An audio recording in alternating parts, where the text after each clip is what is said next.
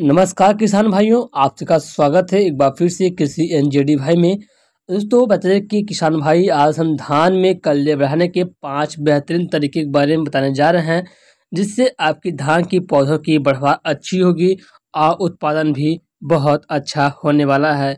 बचले की वीडियो में आगे बढ़ने से पहले किसान भाई, अगर हमारे चैनल पर पहली बार आए हैं तो चैनल सब्सक्राइब कीजिएगा और हमारे चैनल को सब्सक्राइब कीजिएगा, वीडियो को लाइक कीजिएगा, क्योंकि हम किसी से जुड़ी जानकारियाँ आपको देते रहते हैं।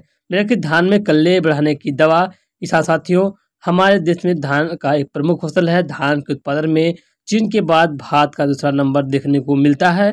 पहले किसान भाई, धान के उत्पादन बढ़ाने के लिए हमें कई तकनीकों का उपयोग करने की आवश्यकता होती है। धान की नर्सरी से लेकर धान की रोपाई तक की प्रक्रिया में आप आधुनिक तकनीकों का प्रयोग कर अधिक उत्पादन ले सकते हैं। चले के पहला दोस्तों हमारा पॉइंट है सही न्यूट्रिशियन यानी कि सही पोषण देना धान के कल्लों को लेकर के।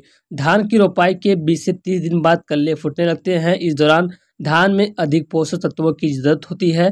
इस दौरान धान की खेत में ज़्यादा पानी न रखें और प्रति एकड़ 20 किलो नाइट्रोजन और 10 किलो जिंक की मात्रा ज़रूर दें। जिंक की मात्रा आ, आप धान की रोपाई के समय पर ही दे सकते हैं। दूसरा जो पॉइंट है खेत को सूखा रखें धान पानी वाली, धान पानी वाली फ़सल है। इसका मतलब ये नहीं कि फ़सल में पूरे चार महीने पानी रखें।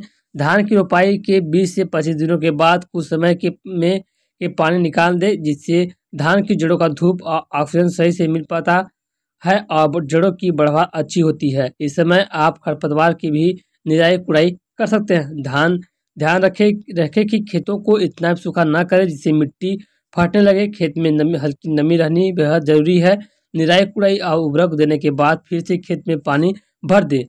तीसरा पॉइंट दोस्तों मेरा ये है, किसान भाइयों, की रोपाई के पंद्रह से बीस दिनों बाद पाटा चलाएँ।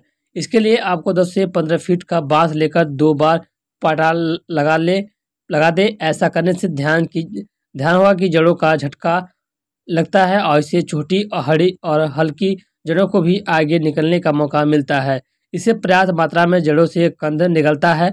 ऐसा करने से धान के पौधों पर लगने वाले सुंडी जैसे कीड़े भी पानी में गिरते ही मर जाते हैं। ध्यान रहे कि एक बार पाटा लगाने के बाद दूसरी बार उल्टी दिशा में पाटा लगाएँ।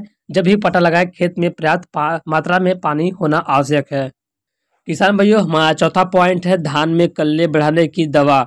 धान की रोपाई के बाद खतर खरपतवार वारनासी और निराई कुड़ाई ज़रूरी करें। खरपतवार के लिए चार, फोर दो फोर डी नामक दवा का प्रयोग कर सकते हैं। खपतवार नियंत्रण के लिए रुपाई के तीन से चार दिन के अंदर पेंडीमेथिलीन तीस ईसी का थ्री पॉइंट फाइव लीटर मात्रा को प्रति हेक्टेयर की दर से आठ सौ नौ सौ लीटर पानी में मिलाकर खेत में प्रयोग करने से खपतवार का नियंत्रण अच्छी तरह से होता है।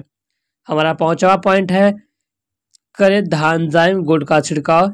यह एंजाइम गोल्ड समुद्री घास से निष्कासित किया गया एक जैविक तकनीकी उत्पाद है। यहाँ पौधों में वृद्धि को प्रेरित करता है, जड़ों का विकास करता है, इसके अलावा पौधों की बीमारियों से लड़ने की क्षमता को बढ़ाता है।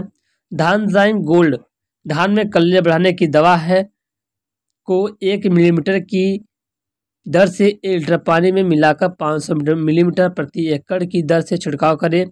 किसान साथियों, आपको बता दें कि आज का जो वीडियो था पाँच ऐसे टॉपिक मैंने आपको बताया क्लियर किया कि धान के कल्लों को कैसे बढ़ाया जा सकता है और धान खेतों को कैसे हम सुरक्षित रख सकते हैं। तो अगर आप इन पाँचों तरीकों को अपनाते हैं तो धान के कल्लों में बहुत अच्छी सी खेती होगी, आप धान के कल्ले बहुत अच्छे ग्रोथ करेंगे।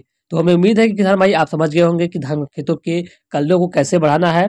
और अगर आपको वीडियो में कोई प्रॉब्लम है, कोई भी दिक्कत आती है किसान भाई तो हमें ज़रूर बताइएगा। अगर कोई सुझाव हो तो कमेंट्स में ज़रूर कीजिएगा। वीडियो पसंद आई वीडियो को लाइक कीजिए किसान भाई, अपने किसान भाई साथ शेयर कीजिएगा चैनल को सब्सक्राइब कीजिएगा, क्योंकि हम आपके लिए किसानी से जुड़ी हर छोटी बड़ी खबरें लेकर के आते रहते हैं ताकि आप किसान भाई सही से खेती कर सके। तब तक के लिए जय जवान, जय किसान जय, वंदे मातरम।